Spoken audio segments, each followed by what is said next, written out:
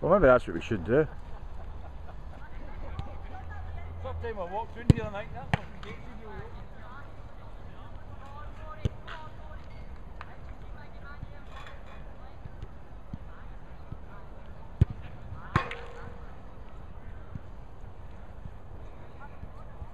be. Keep it going, come on.